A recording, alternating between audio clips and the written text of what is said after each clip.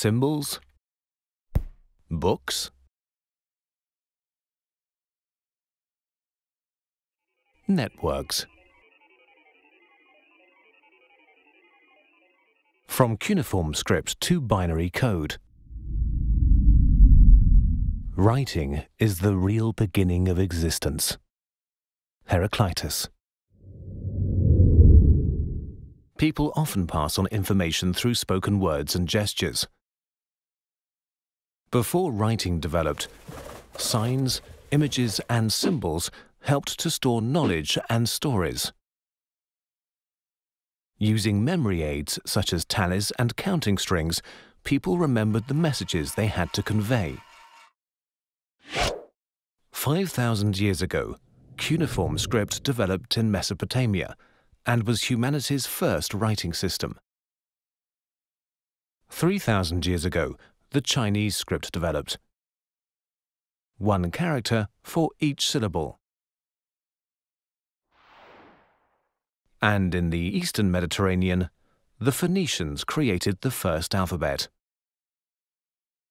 Scrolls, palm leaf books, fanfold, and holy texts were all valuable treasures for an elite group of people.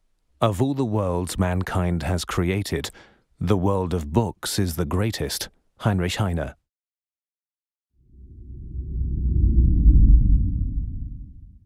The invention of the letterpress, a milestone. Information could now be reproduced at will and circulated. The book became a commodity. Various professions wanted to earn money from this, such as bookbinders.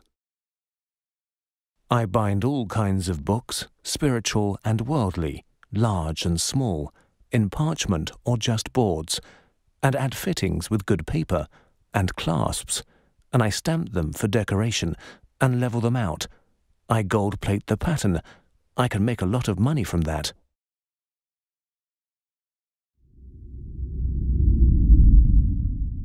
The reformers used the new opportunity to produce large circulations. They distributed flyers to publicize their ideas. But the Catholic Church, who had imparted knowledge to that point, wanted to be able to choose what people were allowed to read. They published the list of prohibited books from 1559 onwards. These books were not permitted to be printed or distributed. Only in 1948 did the list of prohibited books cease to be published, but writers and journalists continue to be in danger around the world to this day. The group Writers in Prison notes, in 2011, 43 writers or journalists were killed around the world. 16 disappeared and 277 were arrested. 170 had to appear in court. 162 received death threats or other threats or were harassed. 132 were attacked or injured.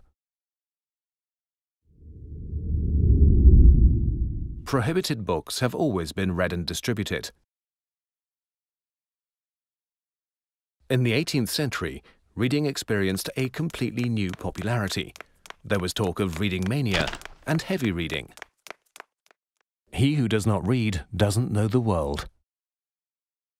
Let's say you read an average of one new book every five days. This leads us to the frightening conclusion that you would only read 3,000 books in the course of your life. You simply have no time to read in a kitsch or merely average way. Arno Schmidt. Schools developed, and non-academics got access to education. Serial novels and magazine novels fulfilled the desire for entertainment. Literature, the demand for higher reading. But who is to be the master? The author or the reader? Denis Diderot. Industrialization and the widespread use of electricity interlinked and accelerated life. Machines took on ever more work, even in book publishing and in trade. The printed word came to define public life. It became the first mass media. Against the trend for mass production, printers and artists attempted to create particularly beautiful books. They wanted to show that the design could bring out the character of the book.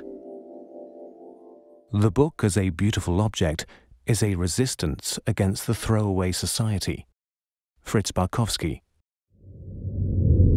Electromagnetic waves enable the invention of radio and television. They become the main media of the 20th century. In 1932, Bertolt Brecht was already complaining radio would be conceivably the greatest communication device of public life if it would learn not just to transmit, but also to receive. So it didn't just make the listener listen, but also speak, didn't isolate him, but interacted with him.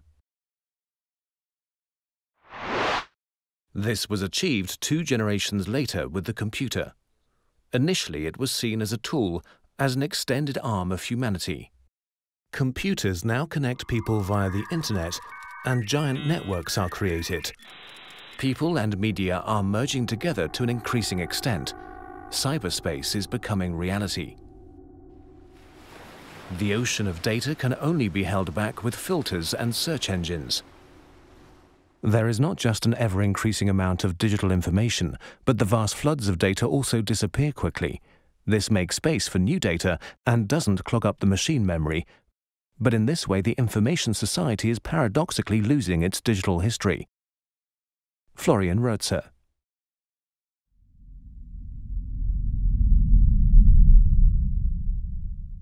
This is why libraries continue to be so important. They are transforming into a virtual archive which makes all media accessible. Libraries, museums and archives are becoming a networked media and knowledge universe, a digital, cultural memory for mankind. Reality and virtuality are interlinked and overlapping.